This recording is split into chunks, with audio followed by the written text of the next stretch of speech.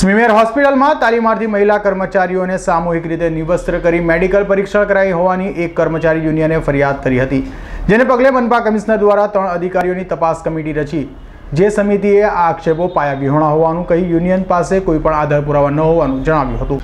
સુરત મહાનગરપાલિકા સંચાલિત સ્મીમેર હોસ્પિટલમાં તાલીમાર્થી મહિલા કર્મચારીઓએ સામૂહિક રીતે નિર્વસ્ત્ર કરી મેડિકલ પરીક્ષણ કરાવવાની કર્મચારી યુનિયન દ્વારા કરેલી ફરિયાદ બાદ સુરત મનપાના કમિશનર દ્વારા ત્રણ અધિકારીઓની તપાસ કમિટી બનાવી હતી અને પચાસ જેટલી મહિલા સ્ટાફના નિવેદનો તેમજ અન્ય સરકારી હોસ્પિટલમાં મેડિકલ પરીક્ષણ નિયમો, મેડિકલ ટેસ્ટ કરનારા તબીબ સહિતના સ્ટાફના નિવેદનોને ધ્યાને રાખી તપાસ રિપોર્ટ સુપ્રત કરી દીધો છે.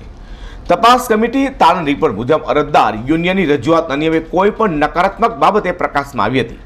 બીજી તરફ કહીએ તો યુનિયનની રજૂઆત ફરિયાદ આ બોગસ છે. અને યુનિયન પોતાની ફરિયાદ બાબતે જે કોઈ પુરાવા રજૂ કરી શક્યું હતું તે પણ જાણવા મળ્યું છે.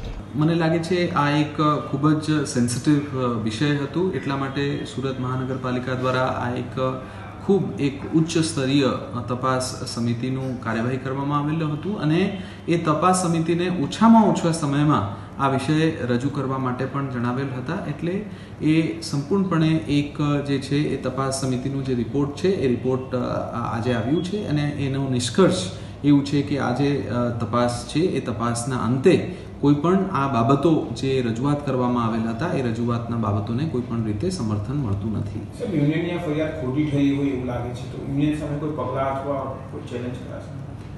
સુરત મહાનગરપાલિકા જે છે એ એ દ્વારા આ વિષય ઉપર ખૂબ ગંભીરતાથી અત્યારે લેવામાં આવી રહ્યું છે અને સંપૂર્ણપણે એના બાબતે કાર્યવાહી કરવામાં આવશે.